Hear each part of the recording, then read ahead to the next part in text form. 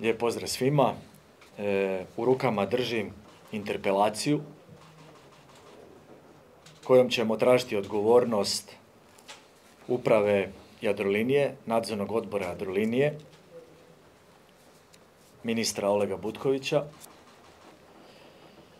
Skupili smo sve potpise još u utorak i predali smo u saborsku proceduru interpelaciju. Želimo kvalitetnu raspravu u Hrvatskom saboru. Želimo da se konkretno utvrdi koja je odgovornost Skupštine Jadrolinije na čelu s ministrom Olegom Butkovićem, uprave Jadrolinije na čelu sa Soptom, ali i nadzornog odbora. Ono što nas Mostovce zanima, do kada se izvješće misli držati u ladicama, jer već i onaj dio izvješća koji je izašao u medijima vrlo jasno, zorno i nedvosmisleno sugerira tko je odgovoran. Odgovoran je prvo predsjednik uprave, a onda je nadzorni odbor, a onda je predsjednik skupštine, a predsjednik skupštine je Oleg Butković, a predsjednik uprave je Sopta. I mi bi htjeli da prestanu te igre, da prestane micanje fokusa sa velikog problema. To je najveća tragedija Jadrolinije koja se dogodila od neovisnosti Hrvatske. Troje ljudi je poginulo, jedan pomorac je teško ozlijeđen i najmanje, najmanje što u donekle uređenoj državi se može dogoditi da predsjednik uprave dođe i kaže mea culpa, nisam uveo sigurnosne protokole u Jadroliniju, dogodila se velika nesreća i savjest mi nalaže da dam ostavku.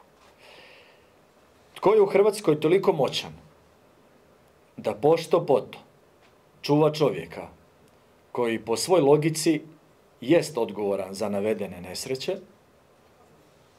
pa odgovor se nameće samo od sebe. To je Andrej Plenković. I posljednja ova situacija s trajektom koja se dogodila s nadzorom govori da Jadroliniju stvarno treba urediti, počistiti sve ono što ne valja, postaviti sve sigurnosne protokole koji su izbjegavani i ovi problemi i tragedije nikada se više ne smiju ponoviti. Jadrolinija je naša jedina nacionalna brodarska kompanija i kojom godišnje prođe gotovo 2 milijuna putnika i izrazito je važno da radi sigurnosti putnika, radi tereta na koncu, onda i okoliša, da bude to jedna dobro uređena kompanija.